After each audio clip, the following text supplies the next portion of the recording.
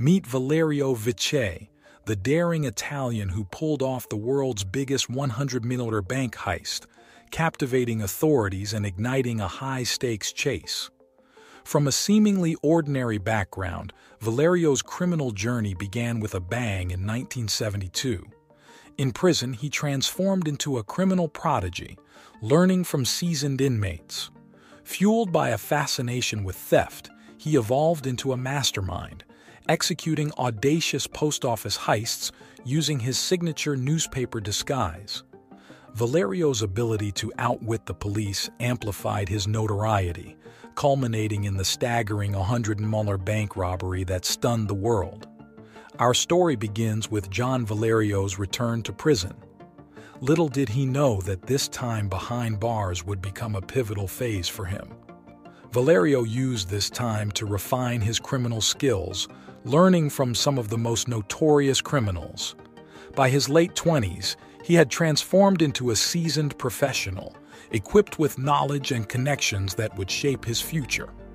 Valerio's growing reputation drew the attention of the police, making him a prime suspect in town robberies.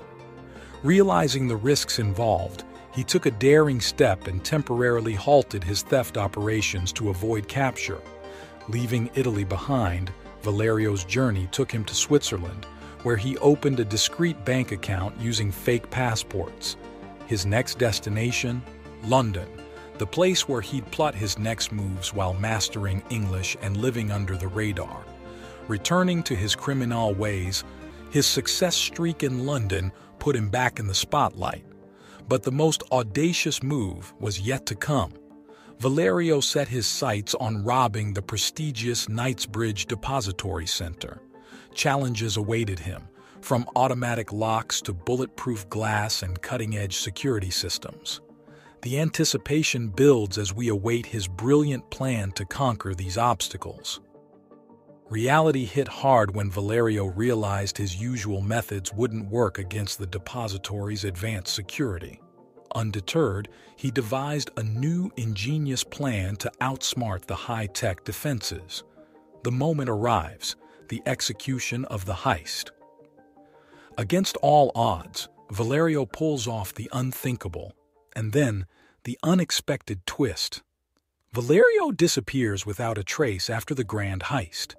His legacy is established, leaving us all wondering about his fate and the enduring mystique that surrounds his audacious feats. Valerio ingeniously transformed from an ordinary guy to a savvy businessman. To infiltrate, he slipped into the bank's facade, disguising himself impeccably.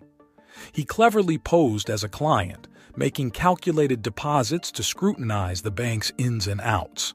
Strategic alliances played a key role, Valerio befriended Latif, the manager, extracting vital intel. Through Latif's girlfriend, Flavia, Valerio uncovered financial woes, creating leverage.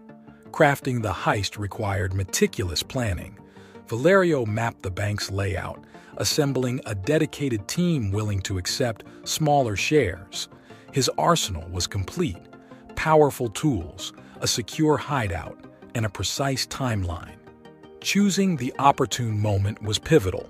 Valerio marked July 12, 1987, etching his name in history. Dressed in suits, Valerio and his accomplice mingled seamlessly. They gained insights during a guided tour, uncovering basement secrets untouched by cameras. The break-in unfolded ingeniously. Navigating the basement's hidden rooms, Valerio's plan materialized. With precision, he emptied deposit boxes. The clock raced to 5.30 p.m., intensifying the drama.